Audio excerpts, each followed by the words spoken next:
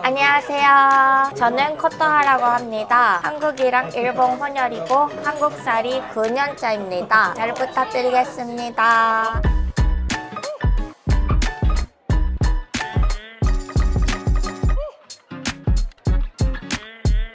잘 먹겠습니다.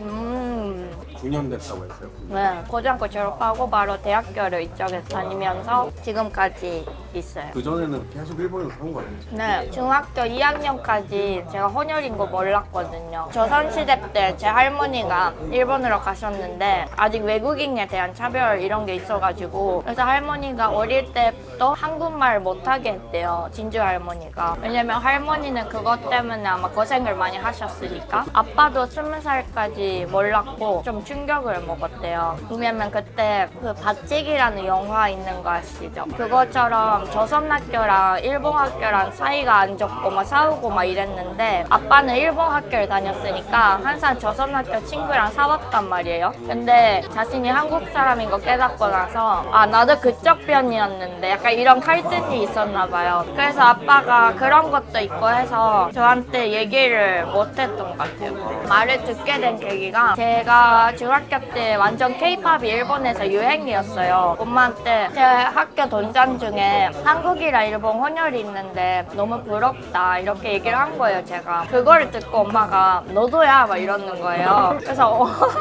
갑자기? 근데 뭐 좋으니까 나는 부러웠으니까 뭐 아싸 그럼 나도 똑같네 막 이렇게 얘기했어요. 처음에 그렇게 얘기했을 때 안 믿었을 것 같아요. 근데 잘 생각해보면은 제 할머니 여권 초록색이었거든요. 일본은 스무 살 되기 전까지는 5년제 여권만 쓸 수 있어서 5년제 여권이 파란색이에요. 근데 엄마 아빠는 빨간색이에요. 근데 할머니니까 초록색이야 이렇게 엄마가 알려준 거예요. 근데 좀 믿을만 하잖아요. 할머니가 되면 초록색이 되는구나. 거짓말 잘하신다. 네. 그래서 뭔가 그 얘기를 듣고 나니까 아 그래서 내가 어릴 때부터 한국만 여행을 다녔고 우리 집에는 항상 김 치가 있었구나. 자연스럽게 받아들이게 됐어요. 한국을 그냥 좋아하게 됐을 때 아버지의 반응도 궁금. 아 근데 제가 혼혈이라고 알고 나서 한 3년 정도는 그거에 대해서 아빠랑 얘기한 적이 없었어요. 고등학교 1학년 때 제가 장학금 받고 한국으로 유학을 왔었어요. 그때 약간 아빠랑 얘기하게 된 것 같아요. 할머니랑 아빠는 한국말을 못 하시거든요. 그래도 할머니랑 아빠는 피가 다 한국이잖아요. 그래서 내가 혼혈이라고 하고 싶으면은 문화 도 알아야 되고 언어도 알아야 될 것 같은 거예요. 그래서 나는 한국을 좋아했고 한국 혼혈이라고 하고 싶었으니까 나는 공부를 해야겠다 이렇게 생각했어요. 아빠가 제가 대학교를 한국에서 다니는 걸 엄청 반대하셨어요. 그래서 그때 엄청 많이 얘기를 나눴어요. 뭔가 미래에 대해서 아빠 뿌리가 있어서 가고 싶어 하는데 왜 그거를 막으려고 하냐 이러니까 보내주더라고요.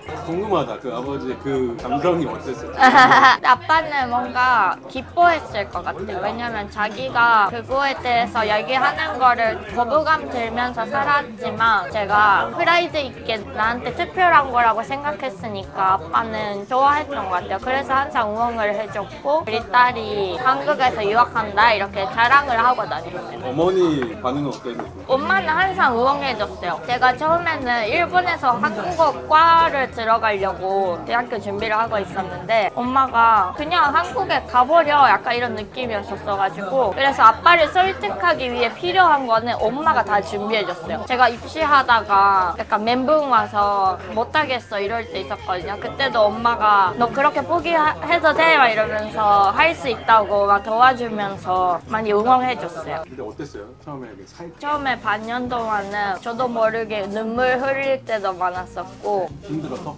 네 한국에서는 내 생각을 말로 전달해야지 사람들이 알아주는데 일본은 눈치를 주면은 그지 얘기를 안 해도 되거든요 한국에서는 솔직하게 NO라고 할 수 없어서 사람들한테 계속 이렇게 흔들어 가는 게 너무 힘들어서 눈물로 밖으로 나온 것 같아요 지금은 잘하죠. 네, 지금은 그렇지 않으면 못 살아요. 이거는 안 좋은 거지만 일본 사람들은 진짜 정치에 관심이 없거든요. 나라 간의 사이가 안 좋아도 자기가 좋아하는 건 좋아하고 상관이 없는데 한국 분들은 공부를 열심히 하시니까 정치 때문에 많이 왔다 갔다 할 때가 느껴지더라고요. 저 자신이 고등학교 때 유학 왔을 때도 좀 사이가 안 좋았거든요. 갔거든요. 그 월드컵인가? 그게 한일전이 시작한 거예요. 홈스테이 했던 가족이 같이 보자 하는데 뭔가 그거를 견뎌낼 수 없을 것 같아서 스스로가 그냥 아 저는 잘게요 하고 자다가 일어나자마자 누가 이겼는지 확인해서 한국이 이겼다 해서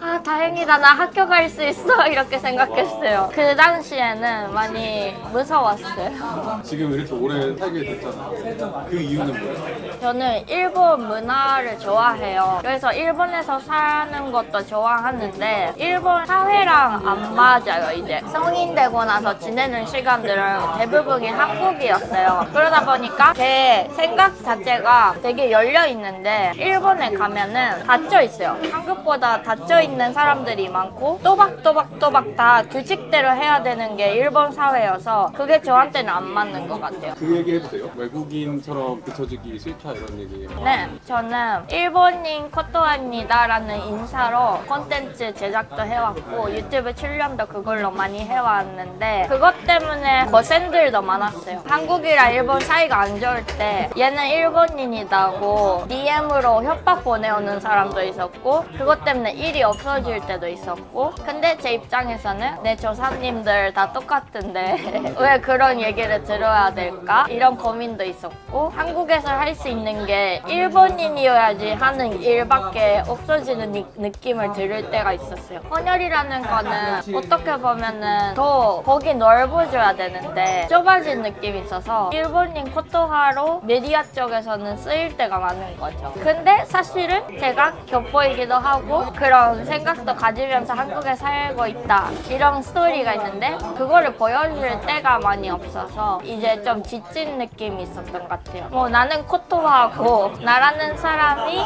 일본 국적이기도 하는데 한국에 뿌리가 있다 이렇게 소개를 할 수 있는 날이 언젠가 왔으면 좋겠다고 지금 하고 생각. 있잖아요. 네, 감사합니다. 너무 앞으로가 궁금해요. 제가 아빠가 5년 전에 돌아가셨거든요. 그거를 계기로 많이 바뀌었어요. 아무래도 제가 한국에 온 것도 아빠 뿌리 때문이라는 것도 있었고 아버지가 생각하시는 미래에 저도 잘 따라서 살아왔다고 저는 생각을 해요. 근데 갑자기 그 아버지가 돌아가시 니까 제 스스로가 생각하면서 제 인생을 살아야 된다는 그 생각을 하게 됐어요. 한 번밖에 없는 인생, 뭔가 더 넓은 거를 보고 항상 항상 성장해가는 사람으로 있고 싶어서 새로운 거를 찾아가고 싶어요. 제가 지금까지 카메라 앞에서 헤어지 못했던 것들을 얘기할 수 있는 기회가 돼서 너무 영광스럽고 댓글 많이 많이 주시면 감사합니다. 또 만나요. 안녕.